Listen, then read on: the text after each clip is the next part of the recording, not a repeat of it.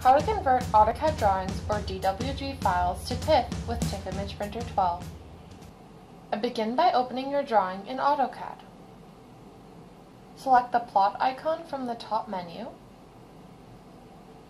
Select the TIFF Image Printer as your printer. When plotting drawings on a large paper size, click the Properties button and then Custom Properties button to set the desired paper size on the printer.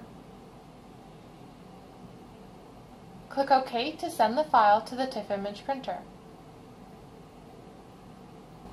You can then set the name and save location of your new TIFF image. TIFF image printer uses profiles, which are a group of settings used to create the output image you want. You can select the profile you want applied to your output TIFF image from the Save As type.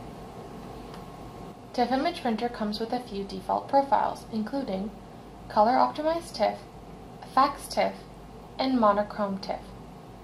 For basic TIFF conversion, we recommend using the color optimized TIFF profile. Click Save to create your TIFF image.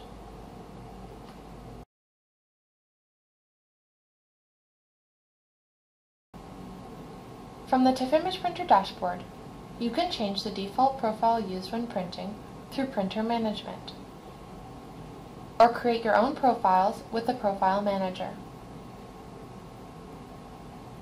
You will need to create your own profile if you are looking to create serialized TIFF images, where each page becomes its own TIFF file instead of multi-paged TIFF images, merge multiple files into a single TIFF image, or turn off prompting for a file name and save location each time you print. Try out our TIFF printer for yourself and see how easy and effective it really is. Follow the link below to download a free trial.